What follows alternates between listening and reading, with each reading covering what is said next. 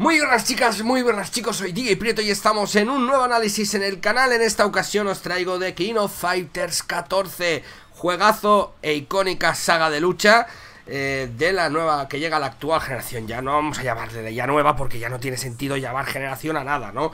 Ya sabéis por qué Muchísimas gracias antes, antes, que, antes de empezar a todos por estar ahí, por dejar vuestro like de apoyo en este tipo de vídeos, como siempre digo, pues tienen más trabajo que los demás y, pues bueno, se valora muchísimo, ¿no? Vuestro apoyo.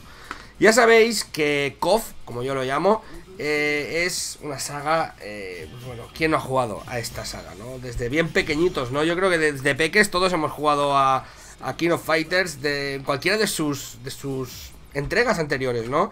Pues llega la actual generación de consolas por primera vez y da ah, por fin una continuidad a estos más de 20 años en el ámbito de la, eh, de la lucha, ¿no? El juego que tiene, eh, bueno, que salió el pasado 26 de agosto del 2016 eh, por 59,99 euros en su versión física como en tiendas, ¿no?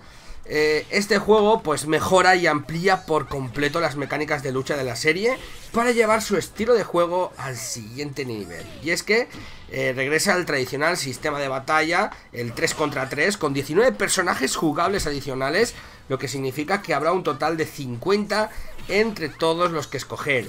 50 jugadores, señores. No hace falta que mencione otros juegos de lucha para saber por qué recalco lo de los 50. El juego nos va a trasladar a un entorno, sobre todo en, el online, con batallas de equipo, las Party Battles que se llaman, con amigos para hasta 6 jugadores en, este entramado que han realizado, ¿no? Y sobre todo en el mejorado Code, que es el juego en línea. Eh, cuando estemos luchando, podemos ejecutar nuestros movimientos especiales X en el, en el realzado modo Max y encadenar tus movimientos super especiales de forma conjunta con el Climax Cancel para dar rienda suelta a combos realmente devastadores. Este KOF 14 es un título, eh, podríamos decir, lo han llamado el más accesible de la franquicia, ¿no? Con la inclusión de la nueva característica Rush, que supone una simplificación, eh, sobre todo en, para poder hacer los combos para los luchadores más noveles y novatos, ¿no? La historia prosigue varios años después del último torneo de KOF 14 con un robusto modo historia para un jugador que tiene un argumento realmente chulo chulo, ¿no?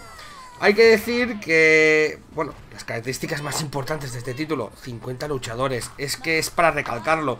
Podremos luchar con uno de los mayores elencos de personajes de KOF, un total de 31 personajes de la saga mítica regresan y habrá 19, 19 nuevos personajes que no me voy a poner aquí a hablar de ellos porque, bueno, eh, podría contaros pues, su historia y todo lo que tiene, pero bueno, eh, no tiene sentido. Tiene sentido que lo descubráis por vosotros mismos. Eh, otra de las mecánicas novedosas son las cancelaciones clímax. La mecánica de movimientos especiales distintiva de KOF ha evolucionado profundamente este nuevo juego. Ahora podremos encadenar nuestros movimientos especiales de forma conjunta para crear ultras destructivos con combos que nos van a dejar la piel de pollastrito, ¿no? Que digo yo, eh, a, neta, ¿no? Luego, otra característica que han utilizado es el mejorado modo max que hemos hablado anteriormente.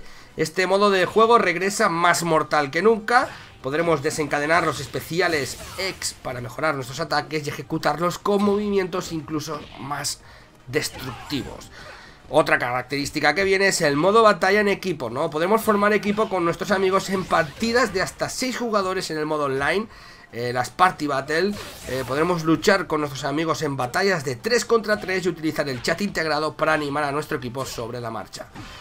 Otra característica es el mejorado en los modos de juego online. Podremos crear un perfil para incorporarnos a la acción online muy fácil y luchar en el, bueno, en el mejorado entorno online que funciona sin retardo, ni historias, ni, ni ninguna pega. Y eso es, hay que destacarlo. Podremos entrenar con amigos en el modo de entrenamiento online o presenciar batallas, capturar las repeticiones para analizar una imagen, eh, bueno, entre las peleas de otras personas y poder analizar los combates, ¿no? La verdad es que esta es una, por decirlo, del reinicio, ¿no? Una nueva saga ambientada varios años después del último torneo de KOF. Eh, este juego prosigue la historia con su, su, modo historia brutal. Gracias, móvil, que siempre estás ahí para ayudarme. Eh, la verdad es que... Eh, una pasada, la verdad es que hay que decir, que, puedo contaros, ¿no? Pues que detallitos que a mí me han dado al jugarlo bastantes horas, ¿no? Uno de los consejos es que la experiencia en solitario pues gana muchísimos enteros, eh, bueno, si subes el nivel de dificultad, porque el normal eh, puede resultar demasiado fácil eh, cuando vayan, vamos ganando combates, pues iremos desbloqueando imágenes, escenas de vídeo y, arte, imágenes de arte de anteriores entregas de la saga y eso siempre es algo melancólico para los fans. El paso quizás el único un punto negativo, que tampoco es negativo, sino es relativo, es el paso a las 3D completas del juego de SNK.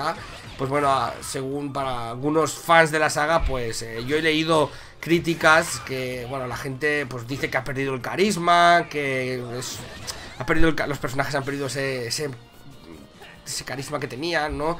Por, por algunas formas de haber enseñado los personajes en 3D, ¿no? Por decirlo de alguna forma, ¿no?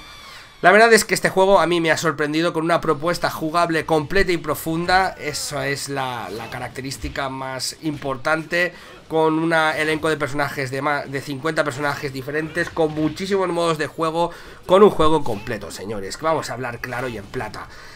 Hemos tenido juegos de lucha que nos lo han vendido por fascículos y cuando te hacen una entrega de este caliz, pues sinceramente, vale la pena probarlo y es un juego muy recomendable. Y para los que os gusten los juegos de lucha, este juego es recomendado 100%. No os vais a arrepentir, os lo prometo. Muchas gracias a todos por estar ahí, como siempre informando a la última, like y favoritos y nos vemos en la siguiente. Chao.